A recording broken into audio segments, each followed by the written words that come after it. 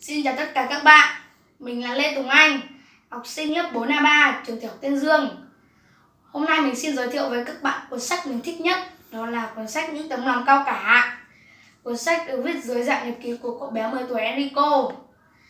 Câu chuyện viết về việc làm thầy, cô giáo, bạn bè, hàng xóm và gia đình.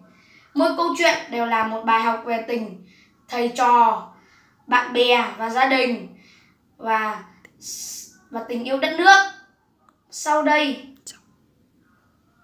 trong các câu chuyện mình thích nhất ba câu chuyện đó là lòng biết ơn, cãi vã, hy sinh. Sau đây mình xin giới thiệu qua ý nghĩa của ba câu chuyện này nhé.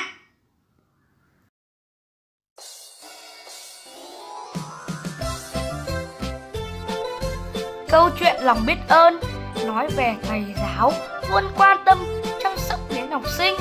Chính vì vậy, Enrico đã được bố khuyên rằng cho dù con là ai bất cứ ai, ở đâu và lúc nào, con đều phải tôn trọng và yêu quý thầy cô giáo của mình. Câu chuyện cãi vã nói về một cuộc cãi nhau giữa Enrico và Coretti sau những sự hiểu lầm và trách móc của Enrico, cậu đã nhờ đến cuộc sống vất vả của Coretti. Enrico cảm thấy hối hận vì hành động của mình. Từ đó, Enrico và Coretti nắm tay nhau và cả hai lại vui vẻ như trước.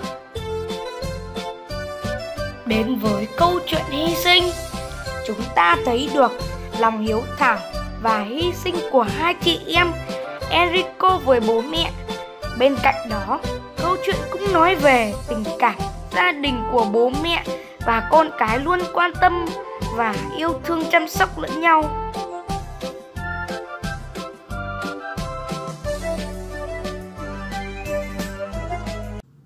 Vừa rồi mình đã giới thiệu qua ba câu chuyện rồi đấy.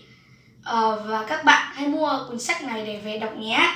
Nó rất bổ ích và có nhiều bài học mới đấy các bạn ạ. À mình xin chúc các bạn một ngày mới vui vẻ chào các bạn!